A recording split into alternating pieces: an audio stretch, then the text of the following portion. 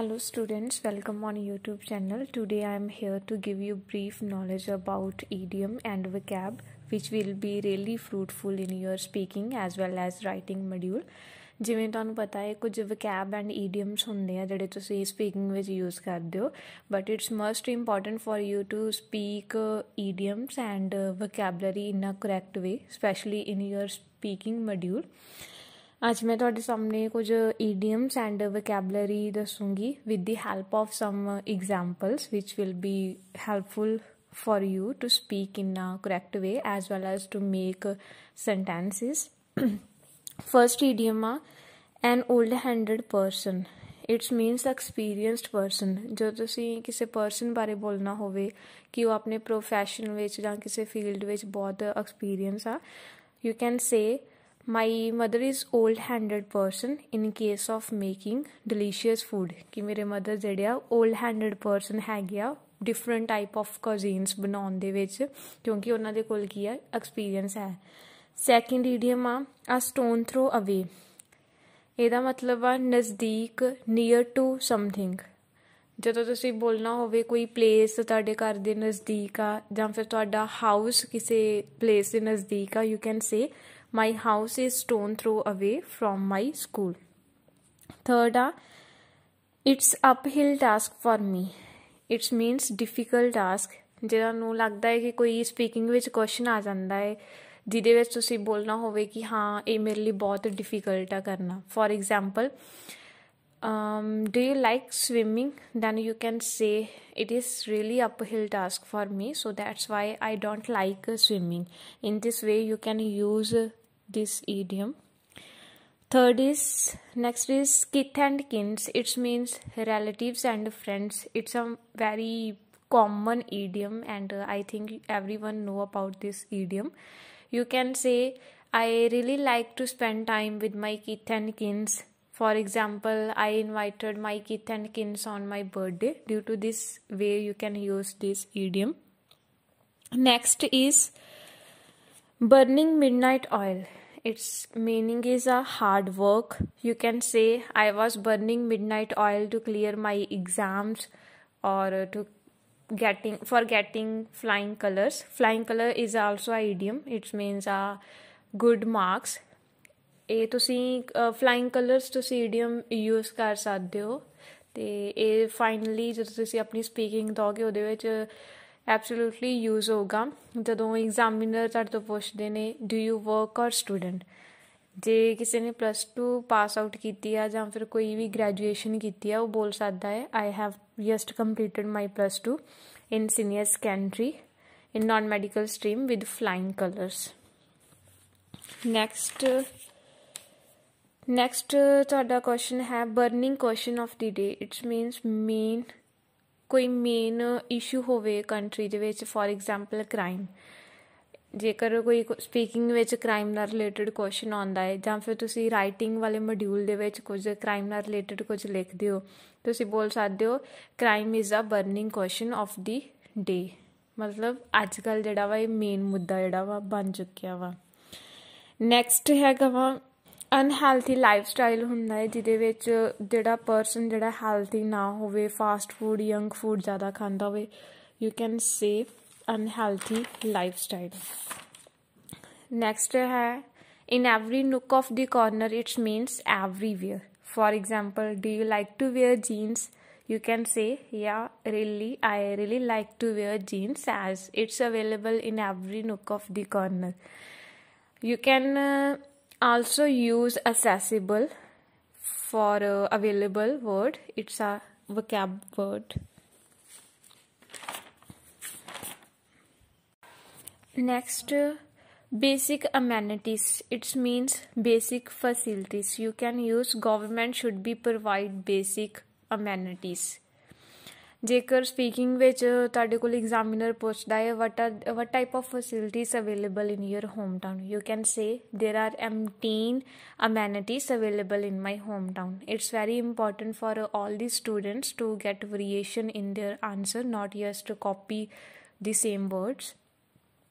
next indispensable indispensable means important you can also use imperative crucial necessary instead of important as the importance is a very common word everyone know that uh, the meaning of importance is a mahatvapuran you can use indispensable words it's a vocabulary next is ramifications Ramifications is impact impact matlab prabhav jo tusi likhna hove writing de writing. ki technology de kuj negative prabhav hai gaya tusi bol sakde technology also creates some negative ramifications next is abolishment abolishment ਹੁੰਦੀ improvements. Improvements abolish ਮਤਲਬ ਹੁੰਦਾ ਹੈ reduce you can also use reduce mitigate abolish don't repeat the same words don't repeat same word in your writing module as well as in your speaking next uh, one is delicious you can use delicious instead of tasty for example my mother always uh, like to prepare delicious food for our guests. Next is jubilant. It means for uh, happiness. see jubilant words word ਨੂੰ use kar ਸਕਦੇ as a happy. to see ਬਹੁਤ jyada happy to see bol ਸਕਦੇ I felt so jubilant when I achieved 82% marks in my mathematics. Next is next to re- recapitulate it's it's means conclusion ਤੁਸੀਂ ਆਪਣੀ writing ਦੇ ਵਿੱਚ ਵੀ and ਦੇ ਦੋ conclusion ਲਿਖਦੇ ਹੋ ਤੁਸੀਂ ਬੋਲ ਲਿਖ ਸਕਦੇ ਹੋ ਟੂ ਰੀਕੈਪਚੂਲੇਟ ਉਹ ਤੋਂ ਬਾਅਦ ਤੁਸੀਂ ਆਪਣਾ opinion ਜਾਂ ਫਿਰ ਕਨਕਲੂਜਨ ਦਿੰਦੇ ਹੋ ਇਸ ਤਰ੍ਹਾਂ ਤੁਸੀਂ ਸਪੀਕਿੰਗ ਵਿੱਚ ਵੀ ਬੋਲ ਸਕਦੇ ਹੋ ਮੋਸਟਲੀ ਫਾਲੋਅਪਸ ਵਿੱਚ ਤੁਹਾਡੇ ਲਈ ਈਜ਼ੀ ਰਹੂਗਾ ਜੇ ਤੁਸੀਂ ਇਹ ਬੋਲਦੇ ਹੋ ਟੂ ਰੀਕੈਪਚੂਲੇਟ ਜਦੋਂ ਤੁਸੀਂ ਕਿਸੇ ਚੀਜ਼ ਦਾ ਕਨਕਲੂਜਨ ਨਿਚੋੜ ਕੱਢੋਗੇ next part and parcel it's a important role you can use a family play a part and parcel role in everyone's life ins and outs full information A, ek ਤੁਸੀਂ line bol ਸਕਦੇ ਹੋ apne cue card de ਵਿੱਚ I really like to spend precious time with other person because it helps me to know about the ins and outs of the society. You can also say I am extrovert person. I really like to meet new ones. through this uh, through this way i can uh, help to know about the ins and outs of the society ਇਹਦਾ ਮਤਲਬ ਆ ਕਿ ਤੁਹਾਨੂੰ ਦੂਜੇ ਲੋਕਾਂ ਦੇ ਨਾਲ ਰਹਿਣਾ ਬੋਲਣਾ ਜ਼ਿਆਦਾ ਪਸੰਦ ਆ ਕਿਉਂਕਿ ਉਹਦੇ ਨਾਲ ਕੀ ਆ ਤੁਹਾਨੂੰ ਪਤਾ ਲੱਗਦਾ ਹੈ ਕਿ ਤੁਸੀਂ ਸੋਸਾਇਟੀ ਦੇ ਵਿੱਚ ਜਿਹੜਾ ਵਾ ਕਿੱਦਾਂ ਰਹਿ ਸਕਦੇ ਹੋ next is fit as a fiddle I do exercise daily to make myself fit as a fiddle ਤੁਸੀਂ ਇਹਨੂੰ ਯੂਜ਼ ਕਰ ਸਕਦੇ ਹੋ ਆਪਣੇ ਸਪੀਕਿੰਗ ਵਿੱਚ ਤੇ ਤੁਸੀਂ ਰਾਈਟਿੰਗ ਵਿੱਚ ਵੀ ਯੂਜ਼ ਕਰ ਸਕਦੇ ਹੋ specially for health related topic ਦੇ ਵਿੱਚ next social butterfly you can say I am a social butterfly I really like to use different type of social websites mesmerise meaning ਇਸ ਮੈਸਮਰਾਈਜ਼ ਵਰਡ ਨੂੰ ਤੁਸੀਂ use ਕਰ ਸਕਦੇ ਹੋ ਕੋਈ ਚੀਜ਼ ਤੁਹਾਨੂੰ ਬਹੁਤ ਵਧੀਆ ਲੱਗੇ ਤੇ ਤੁਸੀਂ ਯੂਜ਼ ਕਰ ਸਕਦੇ ਹੋ the paint for example the painting was so beautiful so that was that why that's why I was mesmerised next ਜਦੋਂ ਕੋਈ ਕੁਐਸਚਨ ਆਉਂਦਾ ਤੁਹਾਡੀ ਸਪੀਕਿੰਗ ਦੇ ਵਿੱਚ ਤੁਹਾਡੇ ਲਈ ਡਿਫਿਕਲਟ ਹੁੰਦਾ ਹੈ ਕਿਸੇ ਇੱਕ ਬਾਰੇ ਬੋਲਣਾ for example do you like your family or friends or do you like to spend more time with your family or friends mostly students ਦੇ ਲਈ ਇਹ ਡਿਫਿਕਲਟ ਹੁੰਦਾ ਹੈ ਤੁਸੀਂ ਇਹਦੇ ਲਈ ਨੇਚਰਲ ਕਨੈਕਟਰ ਯੂਜ਼ ਕਰ ਸਕਦੇ ਹੋ ਇੱਕ it's really difficult for me to say about just one or you can say it's really difficult for me to pick about just one because I like both I really like to spend time with both ਜਦੋਂ ਤੁਹਾਨੂੰ ਥੋੜਾ interesting question ਲੱਗਦਾ ਹੈ you can use it's an very interesting question for me mostly students use ਕਰਦੇ it is interesting question ਪਰ I ਜਿਹੜਾ ਤੁਹਾਡਾ ਇੱਕ ਵੋਵਲ ਆ ਉਹਦੇ ਅੱਗੇ ਤੁਸੀਂ ਐਨ ਜਿਹੜਾ ਯੂਜ਼ ਕਰਨੇ ਆ ਯੂਜ਼ ਕਰਨਾ ਹੈ ਕੁਝ ਤੁਹਾਡੀਆਂ ਸਿਲੀ ਮਿਸਟੇਕਸ ਹੁੰਦੀਆਂ ਜਿਹੜੇ ਸਟੂਡੈਂਟਸ ਜਿਹੜੇ ਆ ਕਰ ਜਾਂਦੇ ਆ ਸਪੀਕਿੰਗ ਦੇ ਵਿੱਚ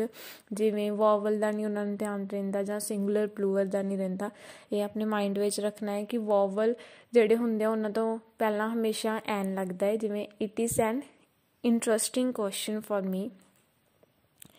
next it's a tricky question for me ਇਹ ਤੁਸੀਂ ਕਨੈਕਟਰ ਲਾ ਸਕਦੇ ਹੋ ਫॉर ਅ ਡਿਫਿਕਲਟ ਕੁਐਸਚਨ ਦੇ ਲਈ ਜਿਹਦੇ ਬਾਰੇ ਤੁਹਾਨੂੰ ਥੋੜਾ ਸੋਚਣਾ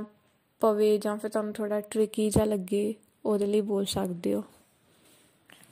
ਨੈਕਸਟ ਸਟੂਡੈਂਟਸ ਕੁਝ ਲਾਈਨਸ ਨੇ ਜਿਹੜੀਆਂ ਤੁਸੀਂ ਯੂਜ਼ ਕਰ ਸਕਦੇ ਹੋ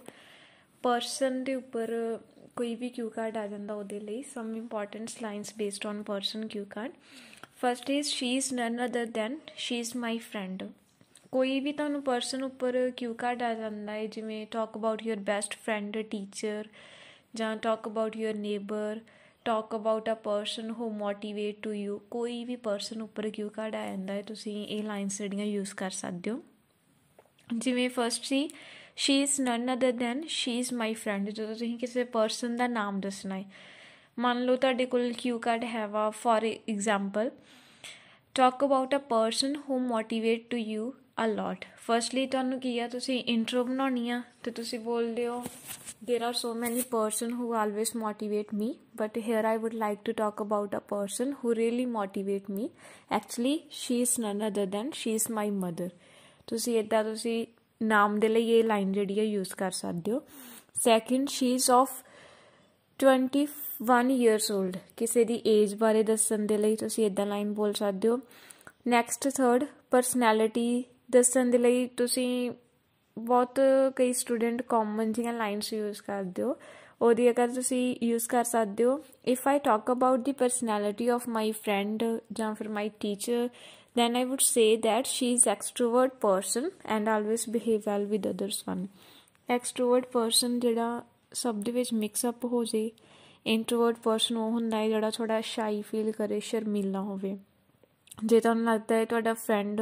ਐਕਸਟ੍ਰੋਵਰਟ ਹੈ ਤੁਸੀਂ ਬੋਲ ਸਕਦੇ ਹੋ ਸ਼ੀ ਇਜ਼ ਐਕਸਟ੍ਰੋਵਰਟ ਪਰਸਨ ਜੇ ਤੁਹਾਨੂੰ ਲੱਗਦਾ ਹੈ introvert then you can use she is introvert person fourth is she is very down to earth person fifth she is benevolent and has jovial nature benevolent means hard working jovial nature ਜਿਹੜਾ ਹਮੇਸ਼ਾ ਖੁਸ਼ ਰਹਿੰਦਾ ਹੋਵੇ ਉਹਦੇ ਲਈ ਤੁਸੀਂ ਇਹ line use ਕਰ ਸਕਦੇ ਹੋ she is good advisor for me as uh, she always suggest me what is right and wrong ਤੁਸੀਂ ਇਹ ਵੀ ਲਾਈਨ ਕਿਹੇ ਵਿੱਚ ਵੀ ਯੂਜ਼ ਕਰ ਸਕਦੇ ਹੋ ਕੋਈ ਵੀ ਪਰਸਨ ਦੇ ਉੱਪਰ ਜੇ ਤੁਸੀਂ ਆਪਣੇ ਫਰੈਂਡ ਬਾਰੇ ਬੋਲਦੇ ਹੋ ਤਾਂ ਵੀ ਤੁਸੀਂ ਬੋਲ ਸਕਦੇ ਹੋ ਕਿ ਉਹ ਤੁਹਾਨੂੰ ਗੁੱਡ ਐਡਵਾਈਸ ਦਿੰਦਾ ਵਾ ਟੀਚਰ ਬਾਰੇ ਬੋਲਦੇ ਹੋ ਵੀ ਤੁਹਾਨੂੰ ਗੁੱਡ ਐਡਵਾਈਸ ਦੇ ਸਕਦਾ ਹੈ ਨੇਬਰ ਬਾਰੇ ਬੋਲਦੇ ਹੋ ਤਾਂ ਵੀ ਤੁਸੀਂ ਇਹੀ ਲਾਈਨਸ ਕਿਹੇ ਵੀ ਪਰਸਨ ਬਾਰੇ ਤੁਸੀਂ ਬੋਲ ਸਕਦੇ ਹੋ next she is very punctual she always used to say that time and tides waits for nun